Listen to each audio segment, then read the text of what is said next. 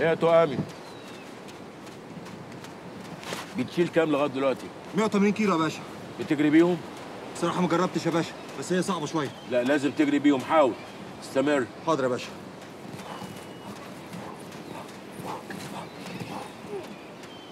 إيه يا حسام يا باشا. ضبطت كام؟ 7 متر 60 لا لازم يتكسر.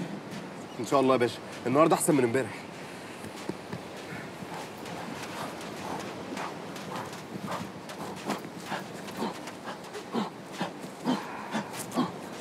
انت بت- بتعمل إيه يعني كده؟ مرة تتمرن آه. طب تعالى عايزك امشي قدام. ماشي. ها شد حالكم يا رجالة. لا ده مطنشني قاصد يا جماعة. أنتوا شفتوا بص لي إزاي؟ كل شوية يجي يبص لي ويدور وشه ويمشي. هو أنا نازل احتياطي في العملية دي ولا إيه؟ حاجة غريبة. يا إبراهيم! الله أكبر. اللهم صل على النبي. أخيرا حسيت بيها يا باشا. ده أنا بقالي أسبوع مستني الندهة دي. طالع لك هوا. وأنا بقول لك تعالى. يا باشا ما انت كل اللي بتندهله بيطلع لك. اشتغل وركز في شغلك وعدى عليها في المكتب بعد العشاء بالليل. حاضر يا باشا. بالليل. ده أنا بنام طول الليل من كتر الجري طول النهار. بالليل إيه؟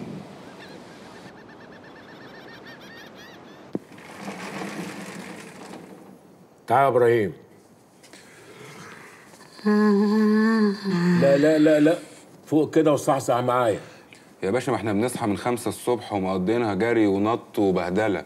هو إحنا هنسرق بنك ولا هنروح نلعب الجزائر؟ طب اقعد يا إبراهيم اقعد. بص أنا عارف انك انت بتتكلم عبري كويس. أنا عايزك تحفظ الكام صفحة دول زي اسمك. وده سي دي في طريقة النطق بتاعتهم الصح. من دلوقتي مش عايزك تتكلم ولا كلمة عربي. اصحى معايا انت بتنام وانت قاعد. يا باشا أنا معاك. أنا عارف الكلام ده كله يا باشا. ده أنا كنت شغال ليل نهار معاهم في شرم وكمان كنت بروح أجيب افواج من تل ابيب واجي تاني. ما تقلقش انت بس. انما إحنا ان شاء الله هنبدأ العملية إمتى؟ العملية هتبتدي لما أنا احدد. اتفضل. يزيد فضلك يا باشا. اتفضل قوم مش اتفضل نام. تعال رايح فين؟ خد الحاجات دي. بتاخد إيه؟ هات خد البيت ده. النبي ما تقلق. ربنا معانا إن شاء الله.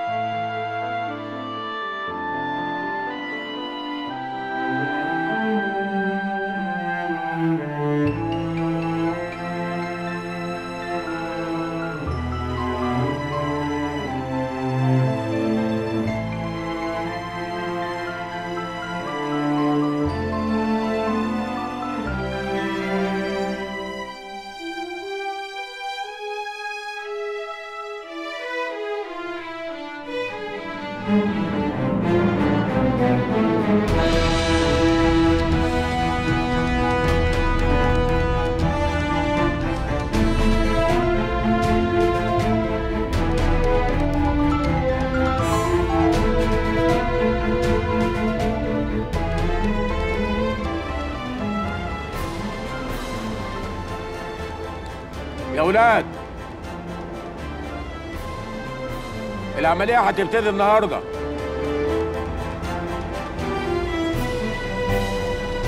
تعالوا لي جوه بعد ربع ساعة.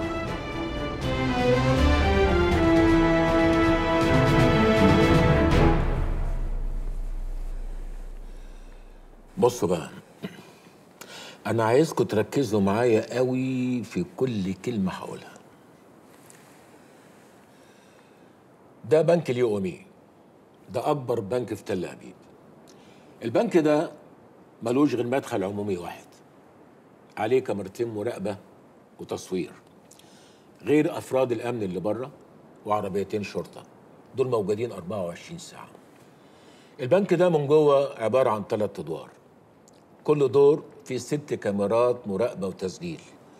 بتمسح الطرقة فتفوتة فتفوتة. يعني لو في نملة في آخر الطرقة ترصدها برضه. كل اللي بتصوروا الكاميرات بيظهر في غرفة التحكم اللي موجودة في الدور الثاني غرفة التحكم دي فيها أربع أفراد مراقبه دول برضه بيقعدوا 24 ساعة. في الدور الثالث في طرقة طويلة هنمشي فيها. هنلاقي أسانسير في وشنا. هنركب الأسانسير هينزلنا في الدور الأرضي. وده أهم دور بالنسبة لنا. ليه يا باشا؟ لأن الدور ده فيه الطرقه الطويلة اللي هتوصلنا للخزنة اللي فيها الفلوس. بس هنا في مشكلة. إيه هي يا باشا؟ الطرقه اللي هنعدي منها أولها باب حديد إلكتروني. له شفرة خاصة عشان يتفتح. بس برضه مش ده المشكلة. ما المشكلة فيها يا باشا؟ الباب ده بعد ما يتقفل بتظهر شبكة كبيرة من أشعة الليزر المميتة. الشبكة دي تبتدي تتحرك في اتجاه الشخص اللي داخل من الباب. كنوع من الحماية ضد أي شخص يحاول يخش مكان الخزينة أشعة الليزر دي أشعة قاتلة بتحرق أي حد تلمسه فظيعة أيوه أنا جبيه بس إحنا هنعمل إيه؟ أقصد يعني هنوصل للخزنة دي إزاي؟ أنا اديت لزاهر سيدي عليه السيستم الأمني بتاع البنك وهو درسه كويس وهو اللي هيفك لنا الشفرات الخاصة بتاعت اجهزه المراقبة. وهيبطل لنا مفعول الليزر. طب معلش يا باشا سؤال. هو إحنا إزاي هنعدي من الباب الحديد اللي قدام الخزنة ده؟ أمال عبد الجليل كان بيتمرن على إيه؟ عبد الجليل دلوقتي ما شاء الله ما فيش أي قضبان حديد تقف قصاده حتى لو فولاذ وفي أقل وقت ممكن. الفلوس هنحطها في شنط. كل واحد منكم هيشيل شنطتين والتهامي هيشيل الباقي.